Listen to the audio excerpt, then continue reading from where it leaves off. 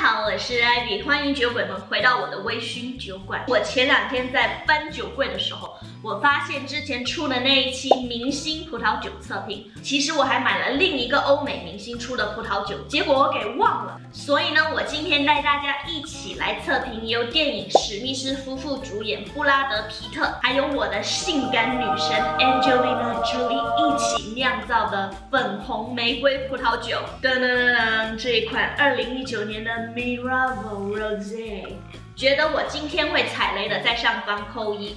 没准好喝的扣二。节目的下半部分呢，我会教大家如何用喝剩的玫瑰葡萄酒来做一款非常容易上手又很适合夏天的玫瑰酒沙冰。这期的最后呢，我有非常重要的事情要宣布，大家要看到最后，马上开始。那其实早在二零零八年的时候，他们夫妇俩呢就以大概六千七百万美金的价格在普罗旺斯买了这个酒庄。而且有趣的是呢，他们二零一四年就在这个 Mirror 酒庄里面结婚了。结果呢，大家都知道，二零一六年他们可离婚了。所以这一款酒算是见证了他们爱情从开始到结束的一款。但是呢，他们离婚之后并没有把这个酒庄卖掉，因为他们两个想把这个酒庄留给他们的孩子。产区呢是普罗旺斯产区，我觉得一般这个产区出的玫瑰葡萄酒质量都挺在线的，所以呢，我会建议大家如果夏天想开始喝玫瑰葡萄酒的酒鬼，先从普罗旺斯这个产区入手。而且呢，普罗旺斯这个产区它当地就种了很多像百里香啊、薰衣草啊、杜松子。所以我觉得它周边的植物对它这个玫瑰葡萄酒的风味也会有有一点点的影响。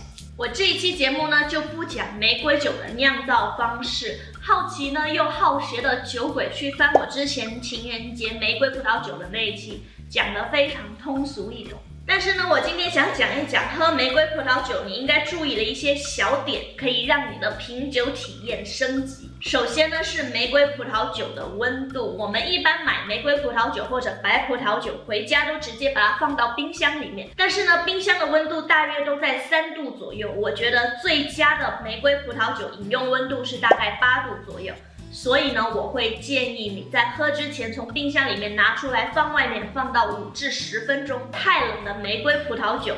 你不但闻不到它的果味，而且呢，冰的过头，有时候玫瑰葡萄酒会发苦。第二个要注意的点呢，就是玫瑰葡萄酒的年份，葡萄酒越老越好，这一点在玫瑰葡萄酒身上绝对是不适用的。你千万不要被人忽悠，花了高价买非常老年份的玫瑰葡萄酒。我个人建议呢，买玫瑰葡萄酒就是要买新的年份，比如说现在是二零二一年，你就要买二零。二零年的，而且买来之后的玫瑰葡萄酒呢，最好啊，在这个年份的十八个月内里面喝完。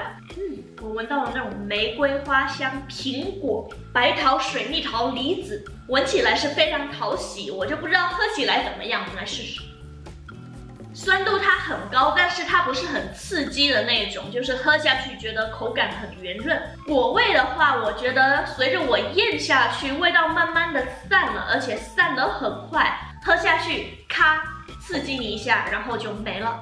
综上再考虑它的价钱，这一个花了我大概二十到三十美金左右，但是你要知道市面上的普通玫瑰葡萄酒都在十几块钱、二十。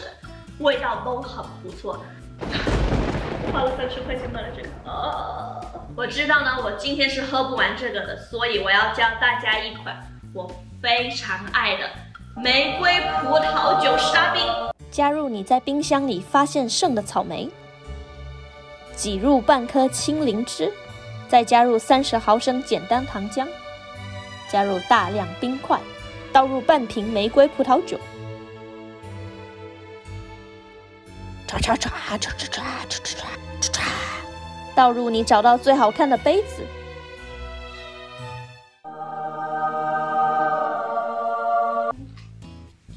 超级无敌清爽，就是这个草莓跟青柠的味道再结合这个玫瑰葡萄酒，任何玫瑰葡萄酒都可以这么做，夏天有这一杯就足够了。最后呢，我有一个非常重要的事情要分享给大家，就是我收到了 PH。慈善基金会的邀请，参加他们的一个线上分享会。那这个分享会呢，收到的所有捐款都会捐给我选择的一个中华少年儿童基金会。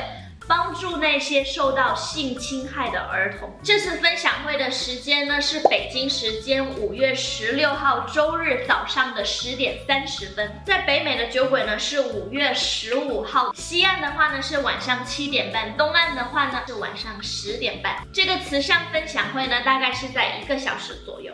我希望呢酒鬼们可以来参加。如果想参加慈善分享会的话，欢迎在后台告诉我。或者呢，在下方留言，我会把分享会的参加方式发给大家。希望呢，各个酒鬼可以出一份力，帮助那些真的需要帮助的人。在这里，我先感谢各位酒鬼。那么下期节目我们再见，拜拜。这个太香，太香了。